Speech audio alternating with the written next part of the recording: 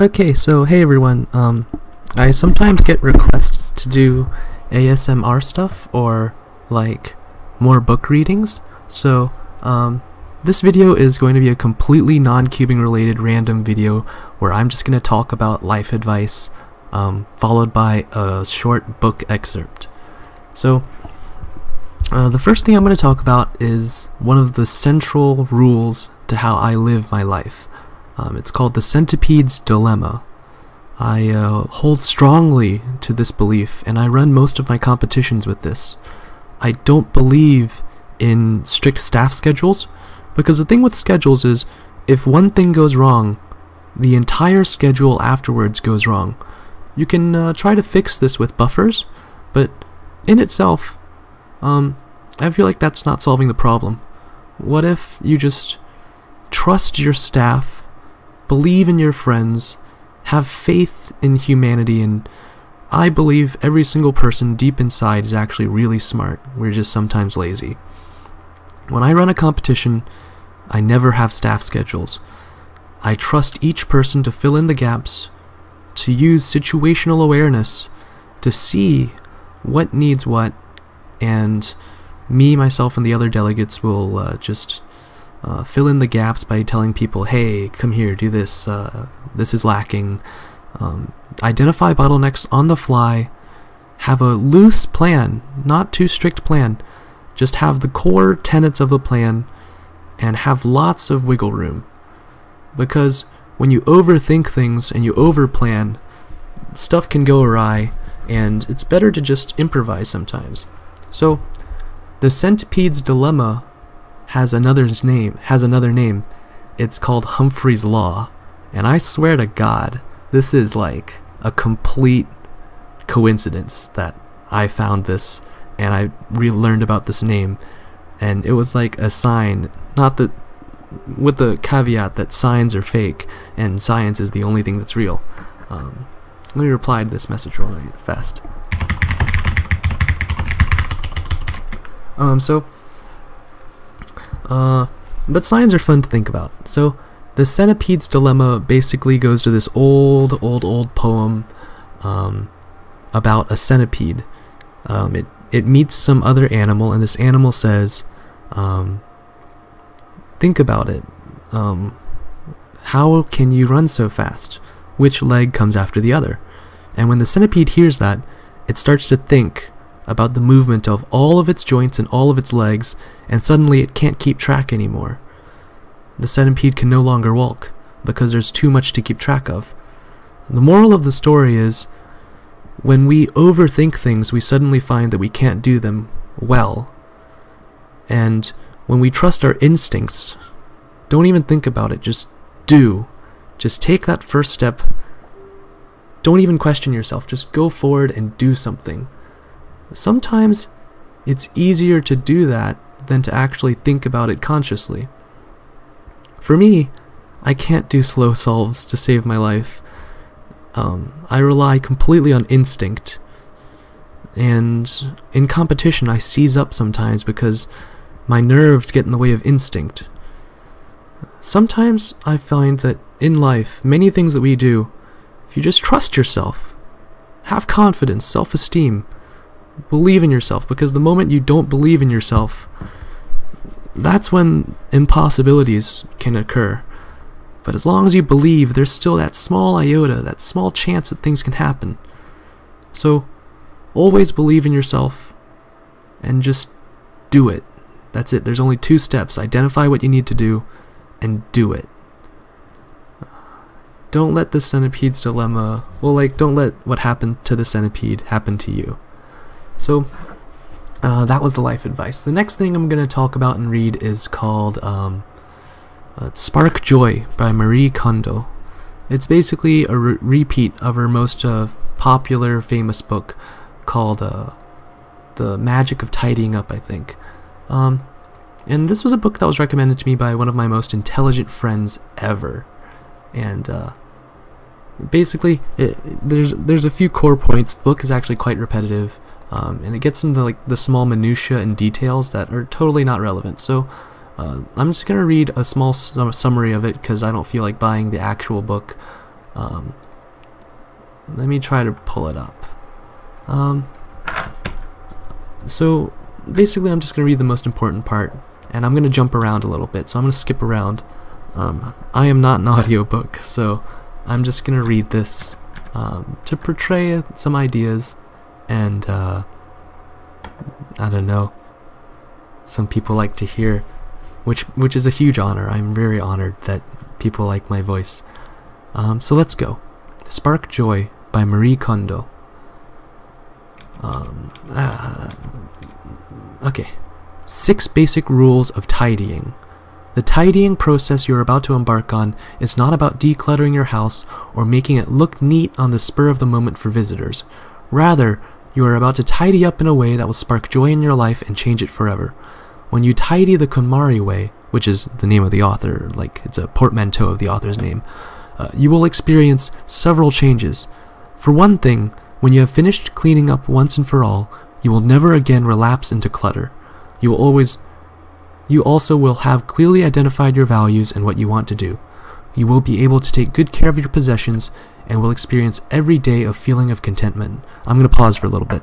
Uh, this book was actually translated from Japanese to English, and there might be a few things that were lost in translation, and you may notice that some of the articles and the uh, contractions have been left out. Um, that's because of the nature of uh, the Japanese language. Um, this translation is more literal than uh, than like um, interpretive, so it does have a little bit of that Asian sound to it. Um, so I'm, I'm going to repeat, hopefully in the right place. Uh, once you have once you have experienced what your house feels like when it is completely tidy in the true sense of the term, you will never want to return to clutter, and the strength of that feeling will empower you to keep it tidy. Rule number one commit yourself to tidying up. The KonMari method may seem a little hard. It does require time and effort, but having picked up this book with the intention of at least making a good stab at seriously tidying up, please keep reading and believe in yourself. Once you have made up your mind, all you need to do is apply the right method. Rule number two Imagine your ideal lifestyle. Think about what kind of house you want to live in and how you want to live in it. In other words, describe your ideal lifestyle. If you like drawing, sketch out what it looks like. If you prefer to write, describe it in a notebook. You can also cut out photos from magazines. You would rather start tidying right away, would you? That is precisely why people suffer rebound after tidying up. When you imagine your ideal lifestyle, you are actually clarifying why you want to tidy and identifying the type of life you want to live once you have finished. The tidying process thus represents a huge turning point in a person's life, so seriously consider the ideal lifestyle to which you aspire. Rule number three finish discarding first. One characteristic of people who never seem to finish tidying up is that they attempt to store everything without getting rid of anything. When things are put away, a home will look neat on the surface, but if the storage units are filled with unnecessary items, it will be impossible to keep them organized, and this will inevitably lead to a relapse. The key to success in tidying is to finish discarding first. You can only plan where to store your things and what to store them in once you have decided what to keep and what to discard, because only then will you have an accurate grasp of how much actually needs to be stored. Thinking about where to store things or worrying about whether you can fit everything in will only distract you from the job of discarding, and you will never finish. That would be a terrible waste, so instead, consider any storage solutions made during the discarding process as temporary and focus all of your attention on the sorting the next category. This is the secret to getting the job done quickly. Rule number 4. Tidy by category, not by location. One of the most common mistakes people make is to tidy room by room. This approach doesn't work because people think they have tidied up when in fact they have only shuffled their things around from one location to another or scattered items in the same category throughout the house, making it impossible to get an accurate grasp of the volume of things they actually own. The correct approach is to tidy by category, which means tidying up all the things in the same category in one go. For example, when tidying the clothes category, the first step is to gather every item of clothing from the entire house in one spot. This allows you to see objectively how much you have. Confronted with an enormous mound of clothes, you will also be forced to acknowledge how poorly you have been treating your possessions. It's very important to get an accurate grasp of the sheer volume for each category. Rule number 5 Follow the right order. It is crucial not only to tidy by category, but to follow the correct order, which is clothes, books, papers, komono, which is miscellaneous items in Japanese, and finally, sentimental items.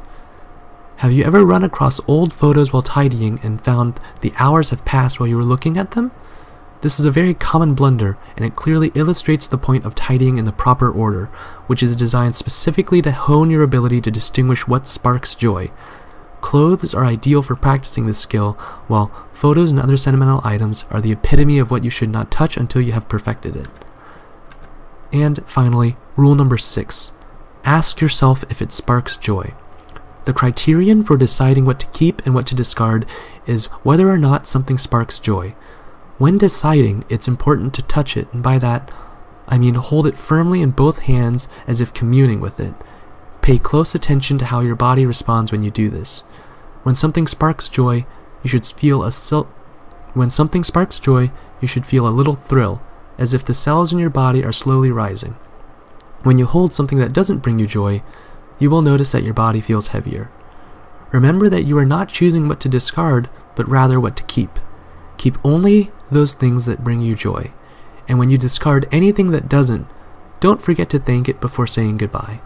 By letting go of the things that have been your life with a feeling of gratitude, you foster appreciation and a desire to take better care of the things in your life. Um, that's actually all you really need to know for both books. That that's the whole crux of it. Um, the rest of it is just um, repetition, anecdotes, examples, uh, minutia, miscellanea, uh, things like that. But the whole point of the book is if something doesn't bring you joy, why would you keep it in your life? And always be grateful for the things you have, and tidying can really change your life. I, I, I actually could use more of that, but this book, it has some pretty good ideas. Um, so right now I'm at like 12 minutes 30 seconds and I need to go do adult things like cook dinner, laundry, email people. So I hope you liked this uh, talking thing. If you want to hear me read more books and give more life advice, um, I prob I probably will do that in like the coming months. So, as always, thanks a lot for listening. See you in the next video.